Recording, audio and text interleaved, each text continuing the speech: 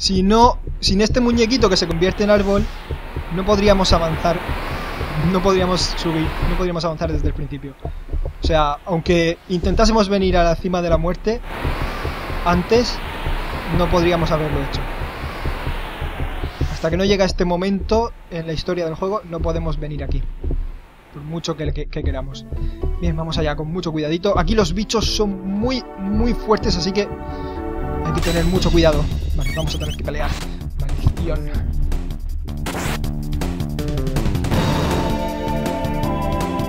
Observad la cantidad de daño que hacen. Por Dios. Qué bestia. 157, pues... Eso es porque Sailai tiene bastante defensa. Cualquier otro personaje le habría hecho 250 y pico, por lo menos.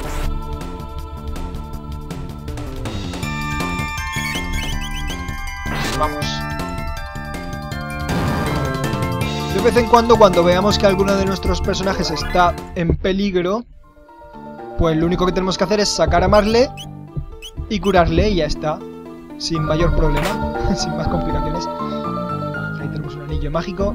Vamos a seguir avanzando por aquí. A ver si podemos evitar esta pelea. Muévete.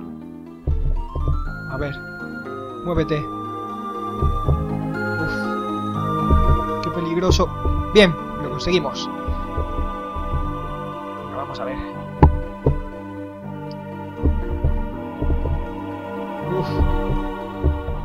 Lo importante es no tocarlos cuando están en movimiento, no toparse con ellos. Bien, vamos. Anillo barrera. Vamos a guardar la partida aquí. Y seguimos avanzando por la cima de la muerte. Uy, Dios mío. Veréis lo que nos vamos a encontrar. Los amiguitos que nos vamos a encontrar. ¡Ey! Eso se parece mucho a Lavos, ¿eh? Pero en miniatura. Son las crías de Lavos, las larvas de Lavos. Dios mío, aquí... Sí, aquí hay que traer a Marle. Recomiendo sustituirla por Robo. Así que vamos a traer Ayla, Magus y Marle. Será perfecto, lo mejor que podemos traer aquí. Vamos a curar. Esta batalla hay que iniciarla con la vida al 100% porque es muy peligroso, Lavos. Las crías de Lavos son devastadoras. Por eso hay que traer a Marle porque aquí en esta batalla tenemos que curar sí o sí. O estamos jodidos. Ni se os ocurra atacar al caparazón.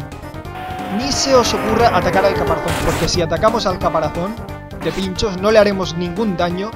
Y además contraatacará con una fuerza brutal. Brutal, brutal, brutal. ¿Habéis visto el ataque que nos han lanzado nada más empezar? Pues el ataque que hace como contraataque cuando le atacamos al caparazón es todavía más poderoso que ese. O sea, mucho cuidado. Mucho, mucho cuidado. Mierda, no te cepes con Ayla. Vamos.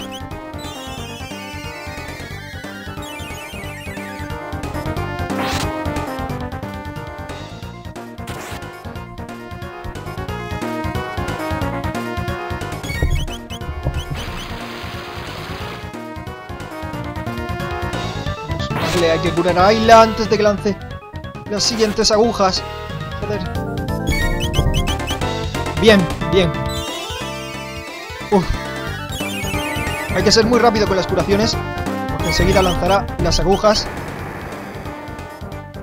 Esas que nos atacan a todos de una forma bestial, así que mucho cuidado.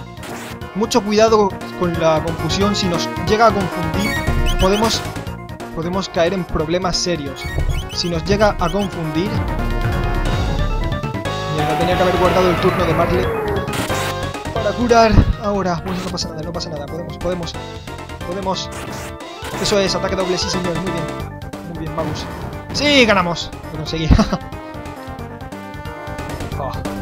Cuando nos confunde, el personaje que está confuso podría atacar al caparazón y la voz evidentemente contraatacaría y guau, sería muy, muy peligroso. Mucho cuidado con las larvas de Lavos, son devastadoras. Bien, vamos a curar. Vamos a curar a Magus.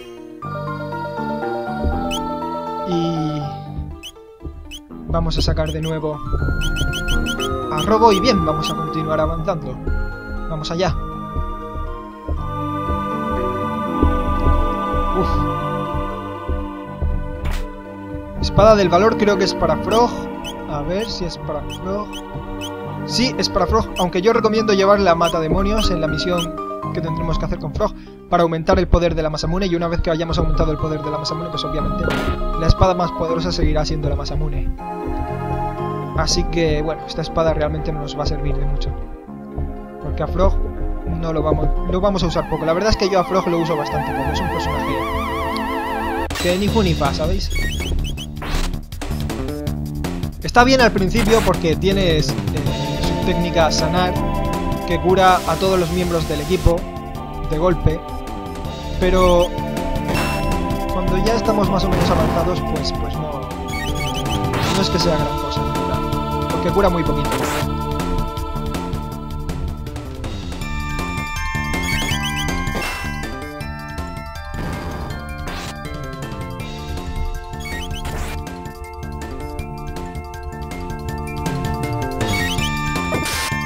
Golpe crítico. Dios mío, Ayla, qué poder tiene Ayla, por Dios. Es bestial, me encanta Ayla. Ayla es mi personaje favorito, tengo que decirlo. Tengo que decirlo. Ayla. Ayla es mi personaje favorito de este juego. me encanta. Me encanta Ayla. Tanto por sus diálogos tan ingenuos. como por su brutal fuerza en el combate. A ver. No, todavía no vamos a, a encontrarnos ninguna larga será más adelante. Vamos a guardar la partida para ir sobre seguros y vamos allá. Vamos allá, vamos allá. ¡Wow! Quería sorprendernos. Hoz infernal, aquí tenemos un nuevo arma para Magus, por fin. Mirad cuánto aumenta el ataque, bestial. Maravilloso. Y vamos a seguir. Ascendiendo, vale. Larva de la voz. Ya sabéis lo que hay que hacer. Sacar a Marle curarnos a tope. Vamos allá, cura a Ayla y a Marley. Y vamos allá. A por todas. Hay que ser rápido, pero también hay que tener mucho cuidado, no sea que por ir demasiado rápido se nos vaya el dedo y le ataquemos al caparazón. Ya sabéis que atacarle al caparazón es lo peor que podemos hacer. Así que vamos allá. ¿Cómo de fuerte será Lavos si matar a sus larvas ya nos cuesta tanto? Madre mía, del amor hermoso. Pero vamos, hay que curar a Magus en este turno.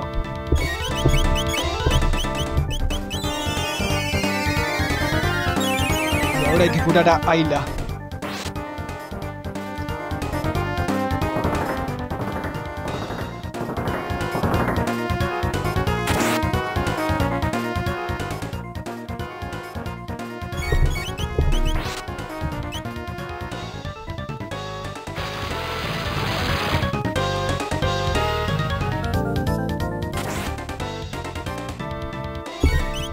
¿Os habéis fijado que las larvas les ponen música de jefe? Les ponen música de boss. O sea, no es como una batalla corriente. Son mini jefes. Al fin y al cabo, son larvas de Lavos. El jefe más peligroso de todos. El monstruo más peligroso de todos. Y devastador.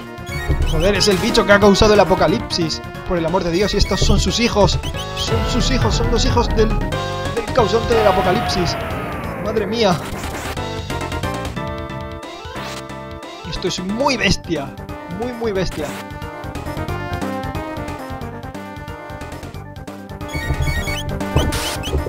Vamos, vamos, vamos.